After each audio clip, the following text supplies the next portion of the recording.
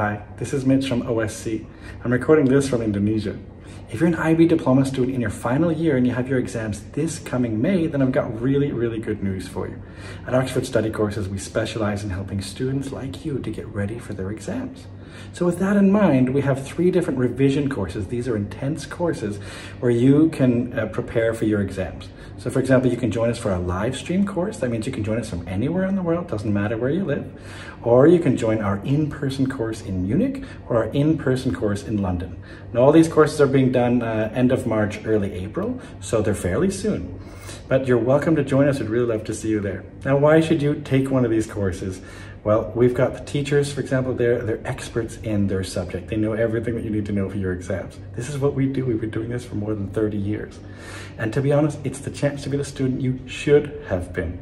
So I really hope you'll come and join us for uh, IB revision courses.